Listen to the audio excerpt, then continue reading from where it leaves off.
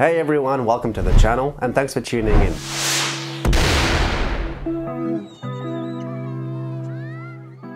For those of you who have managed to purchase one of these extremely scarce 50 series NVIDIA GPUs, and if you're currently just tearing your hair out, trying to get your brand new NVIDIA RTX 5070 Ti, 5080 or 5090 to work, but you're stuck with the black screen, then this video is just for you. So when my GPU arrived, I went through days, if not almost probably a week of frustration, stripping apart my PCs, draining and refilling the custom water loop in my new build, just behind me over there. And at one point, I literally almost gave up and I was thinking of sending it back as dead on arrival. But it turns out that the problem was something that I totally didn't expect and I think it could be a hidden issue that not everyone might think of straight off the bat and something that's not as obvious as one might assume. So I'm making this video in the hopes that it might save a lot of people from unnecessary RMA returns. But before we dive into the strange fix, well, what I think is strange and what I discovered with my particular card, uh, I just want to give a quick disclaimer that this solution worked for me, but it may not be a universal fix for everybody. It's always best practice to go through some of the uh, standard troubleshooting steps first. So I just want to cover those real quick. First and foremost, always check your drivers, okay? Download the latest drivers from the NVIDIA app and make sure that you've installed the latest NVIDIA drivers. Outdated or missing drivers can prevent your GPU from displaying anything on screen as the system might not actually recognize the new hardware properly. Now, the second thing you want to know is, is your PCIe slot working? So you want to test the PCIe slot on your motherboard. One way to do this is to try an older GPU in the same slot or maybe test your new card in a secondary PCIe slot on your motherboard if you have one. A lot of the times faulty or dirty PCIe slots can cause connection issues and swapping slots helps to rule this out. Another thing you might want to do is inspect your CPU and your motherboard, the socket where the CPU sits. So a lot of the time reseating your CPU, checking for bent pins and verifying that your motherboard and your CPU are both in good shape. Literally a misaligned CPU or a damaged uh, socket pin can cause instability and prevent proper GPU initialization. And it's important to note that if your CPU doesn't have an integrated GPU, an iGPU, you won't ever get a display signal without a working graphics card. So if you don't have an older GPU lying around, well, you're kind of screwed. Unless you have a friend whose GPU or CPU you might be able to borrow just for troubleshooting purposes. Um, unless you want to try the world's most frustrating game of blind BIOS navigation.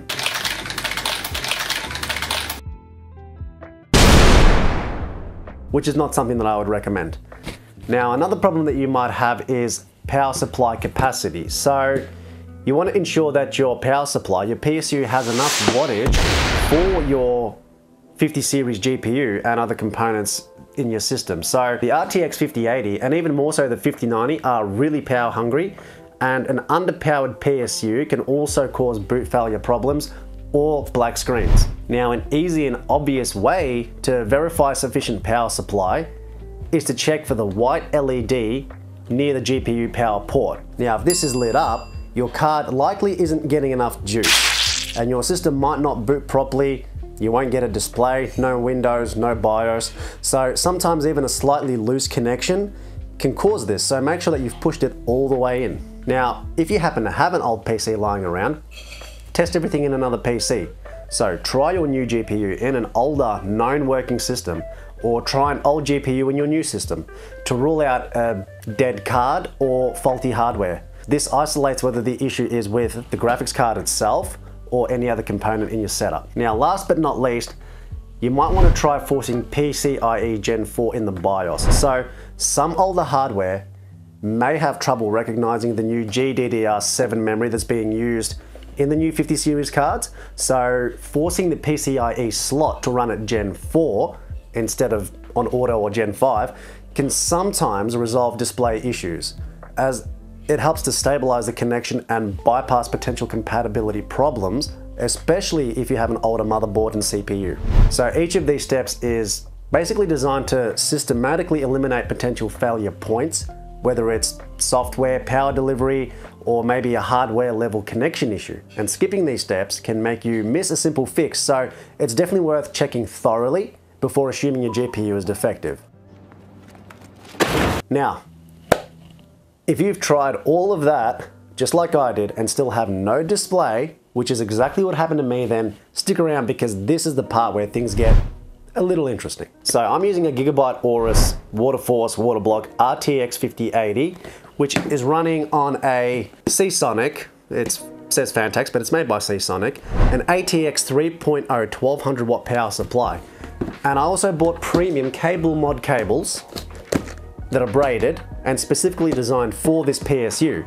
So you'd think that NVIDIA's new high power, 12 volt high power connector should have been the perfect match, right? Well, I triple checked the connections and the white debug LED next to the GPU power port was never lit. Meaning, supposedly, that the card was getting enough power, but I still wasn't getting a display. But I checked the connections over and over again, plug, unplug, reseat, reseat the GPU, I tried everything and literally nothing out of the graphics card, no matter what I did. Now, thankfully I'm running an AMD 9950X, which fortunately has an iGPU integrated GPU. So I was able to do all my troubleshooting by plugging my monitor into the HDMI output on the back of my motherboard. But alas, despite all the tips and tricks I mentioned earlier in this video, nothing seemed to work. I was getting no output from this bad boy over here. So I go back, I drained and refilled my water loop multiple times, swapping CPUs, trying different motherboards, and even testing the card in older systems and my older card in the new system, which fired up straight away. And like I was literally about to give up and declare this thing DOA, but then I noticed something strange about the cables. So the Gigabyte supplied power adapter had the 12 volt high power connector on one side, and on the other it had three by 8 pin PCIe connectors. And what I noticed is that all four sensor pins were actually populated. So it's really difficult to see. But if you have a look right here, on the top there, there are some small sensor plugs, and on this CableMod cable, only two out of the four are populated. Now, in theory, you'd safely assume that the direct 12 volt high power to 12 volt high power connection should have been the one to go for and should ultimately be better. But on a hunch, I decided to try the adapter.